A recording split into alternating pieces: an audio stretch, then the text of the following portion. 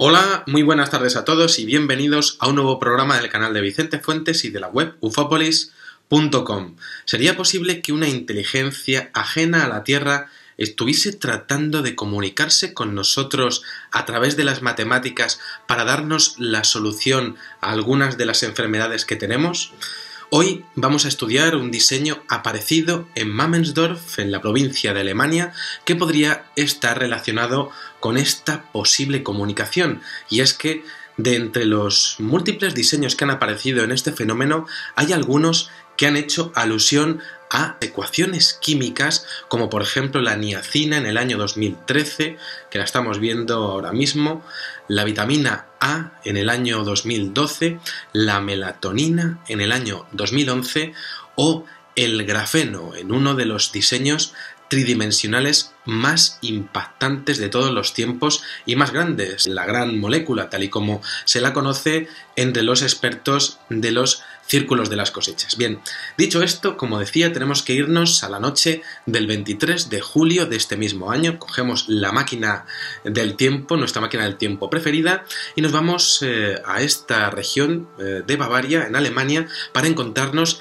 este diseño alejado en su localización eh, de Wiltshire, donde normalmente encontramos estos diseños de lo que sería Stonehenge, y bueno, pues vamos a estudiarlo con tres capas. Si observamos lo que sería este círculo a primera vista, podemos observar lo que sería como una reacción en cadena, una reacción nuclear, en donde pues vemos la flor de la vida en cada uno de los cuatro brazos eh, de este, de lo que sería de este círculo. Podemos observar también que eh, esto ha aparecido al lado de lo que sería un eh, molino de viento de energía eólica. Claro, es muy curioso porque tenemos dos símbolos de paz, la flor de la vida y la energía eólica, junto a un eh, diseño de energía nuclear y ese contraste podría ser realmente una de las claves de este, de este círculo, ¿no? Pues lo que sería la contraposición entre el bien y el mal, un mensaje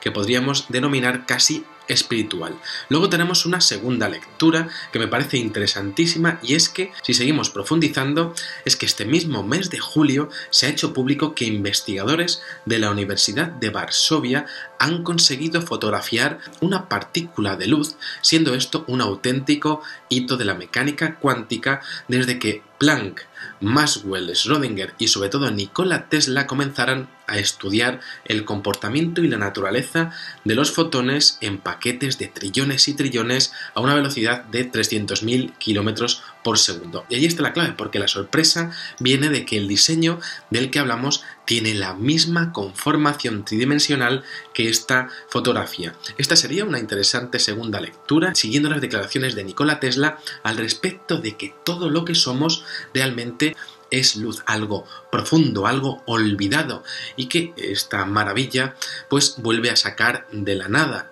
prácticamente resucitando de nuevo a Tesla en sus publicaciones. Aún así, bueno, pues eh, resulta que hay una tercera lectura, una tercera capa, la más interesante de todas ellas, que desde luego merece la pena estudiar por la importancia que tendría para el futuro de los seres humanos. Y es que lo que estamos viendo sería una representación exacta de la molécula de calixareno, una molécula que según acaba de ser descubierto por científicos de la Universidad de Barcelona, esto se ha publicado además en la revista Proceeding of the National Academy Sciences, pues resulta que estabiliza la proteína P53. Y esto lo vamos a explicar de una manera pues muy sencilla, muy fácil, porque Resulta que el calixareno logra que la proteína P53 recobre su función de supresión de tumores en los cuerpos de los seres humanos. Una representación asombrosa, llena de significados a nivel científico. A mí esto me parece desde luego asombroso y os explico por qué. Y es que la proteína P53 está presente en el cuerpo humano y decae en un momento dado durante los tratamientos de inmunoterapia. Y esto claro, esto dificulta la lucha contra la enfermedad. La P53 deja de funcionar, pero es que resulta que se ha ideado un novedosísimo tratamiento con esta molécula de calixareno, y esta molécula realmente pertenece a otras aplicaciones, a otras variantes de la química, concretamente es muy popular en la química orgánica, y como decía, se ha ideado un tratamiento en el que el calixareno vuelve a despertar esa proteína P53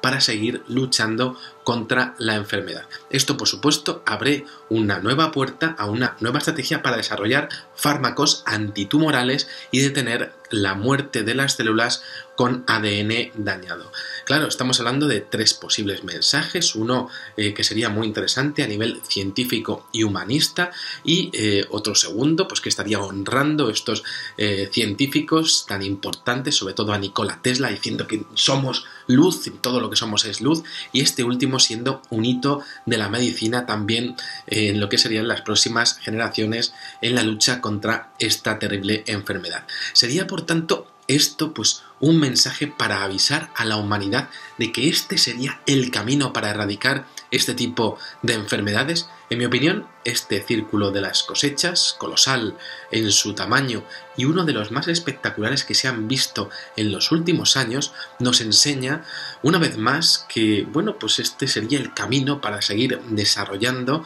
nuestra ciencia y nuestros conocimientos en una dirección correcta, en este caso, honrando esta molécula y exponiendo su importancia junto a un mensaje de paz y honrando estas investigaciones tan importantes de las que quizá podamos aprender en el futuro también en la medicina si estudiamos su legado. Ante esto, por supuesto, pues eh, como siempre puede haber múltiples interpretaciones, porque si es cierto que son tan inteligentes, ¿por qué no nos ayudan directamente con todos los dramas que tenemos? ¿Por qué no nos dan directamente, digámoslo así, la ecuación, la receta? Quizá la clave mm, de todo esto sea ese libre albedrío que tendríamos los seres humanos y que también sería respetado por la inteligencia que estaría detrás del fenómeno de los círculos de las cosechas, siendo este tipo de diseños solo una pequeña advertencia permitida en esta inteligencia, quizá por poderes mayores. Lo que está claro es que sea como sea,